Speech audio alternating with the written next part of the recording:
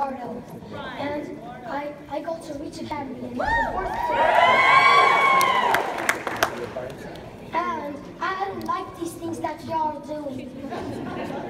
In my school, there's a lot of kids that are in low reading level. And y'all want to take up all of our money of our custodians and teachers